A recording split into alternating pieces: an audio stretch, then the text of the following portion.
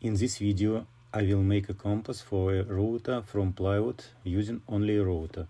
I hope you enjoy it and find it interesting. Don't forget to subscribe to the channel and enjoy your viewing.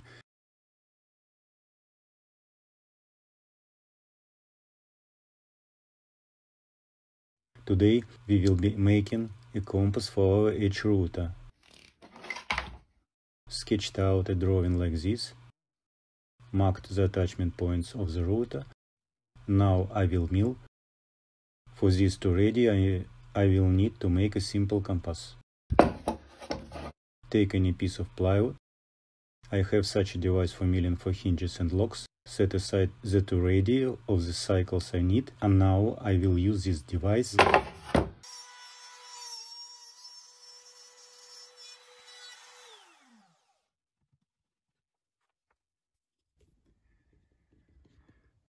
The second semicircle is made in a similar way. Now we will mill the blank of our compass to size.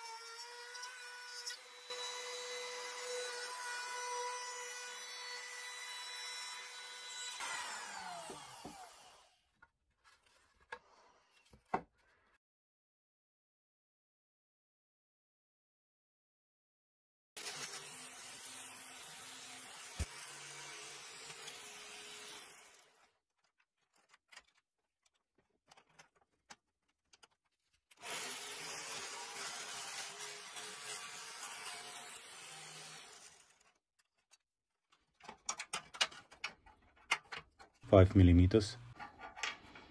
Jigsaw saws after processing on a grinding machine such a guide lay turn out. Now I need to make three holes and cut three threads.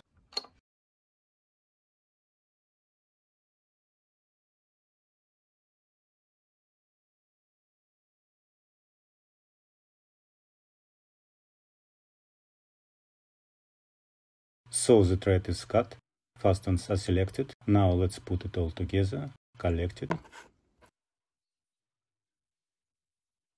Such a charming detail. That's how it will be assembled.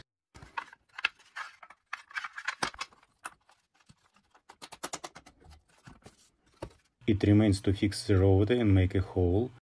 The device, the compasses are ready, so it remains to make a central hole but a spotted blank for a compass will help me with this. Here it will help make that hole.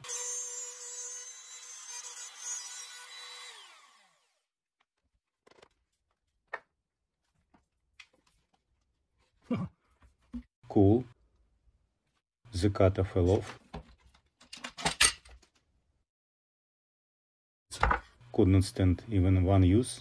Even a cycle could not make with this cutter. May of course not be able to immediately such a depth of 5 mm. Well, try number 2. Milling cutter Sika 6 mm. 4 mm could not stand it.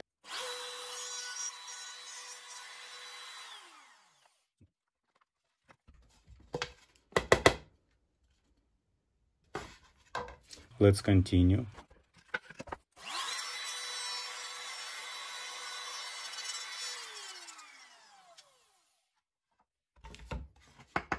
I will remove this with a chisel and then process it with an overrunning milling cutter. Everything will be beautiful. And here is the final result. The fixture is ready. The minimum hole in this equipment is 26 millimeters, maximum 790 millimeters. But for large cycles, I made a simple compass for the router. There will be a link above.